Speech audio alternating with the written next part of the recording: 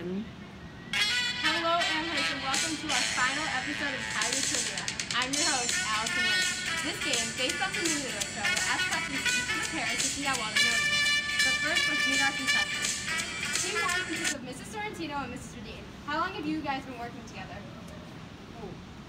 14 years? Yeah, that's as long as you've been here for 14 years. 14 years. 14. But it's not fair. I haven't seen her in like three months, so I don't know. Welcome back. Thank you. Team 2 consists of Mr. P and Mr. Pendrack. How long have you guys been working together? Ten years. Ten years. Ten years. Ten years. Wow. Yes. All right. So we asked you 10 questions about yourself and 10 questions about your coworker. There will be five rounds. One point will be awarded when you have matching answers to a question. Let's begin. Ms. Sorrentino, we asked you, how do you take your coffee? We also asked Mrs. Radine how you take your coffee. Let's see. Hold up your cards. So we have with lots and lots of cream and sugar, and one cream and one sugar. Bannis rules. Ah, those are like complete opposites there. Lots and one are two totally different things. All right, no points. Mr. P, we asked you what your most irritating habit was. We also asked Mr. Pendra. Let's see how you answer. All right. We have interrupting, Interrupting. and doesn't listen. I mean, those are similar. If you're interrupting, you're really not listening to the person, right? You walk away from me every time I talk to you. You turn around and me.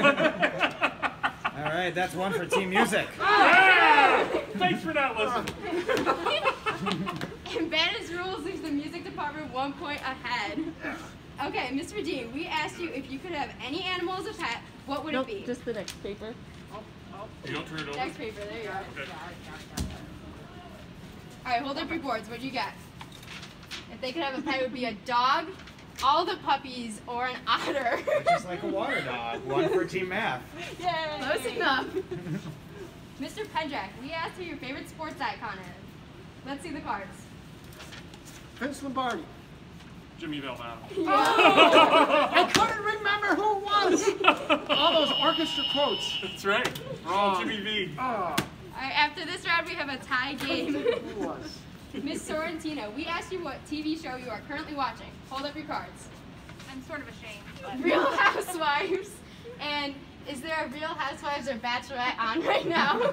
there is a Bachelor. So yes, point for the math team. Oh. All right, Mr. P, we asked what your favorite pizza topping was. Show your cards. Pepperoni, spicy kind, and pepperoni. Another te- another point for the music team. All right. That's Yeah. right. Yeah. All right. Um, Mr. Dean, we asked you if you could be or were not a teacher, what would you be? Let's see what you guys thought. We have a professional traveler who checks out and reviews lo- locations and resorts, Yes. and working with animals. I would also do exactly, not exactly close. All right, no dice for the math team over here. Mr. Pendrak, we asked you what your favorite candy is. Let's see the results. We have Sour Patch Kids Oh. and Kit Kats. Oh. I hate mm-hmm. chocolate, bro. What are you talking about? Every time you come in my office and steal candy, you always got a Kit. Oh, I have a Kit Kat. After Well, that's 10 just the, you know, it's the, Oh, not a choice, lack of options. you lost us a point, Pedro. After 10 years, they really know each other well. Miss we asked you if you were a type A or a type B teacher. Let's see. Type A for both. No debate there. All right, and final question. Mr. P, we asked you who your favorite singer or band is. Let's see it. All right, we changed it to musicians.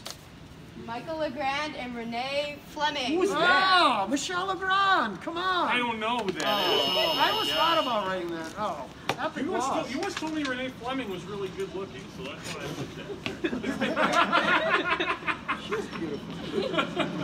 All right, after five rounds, we have a final score of Oh. Team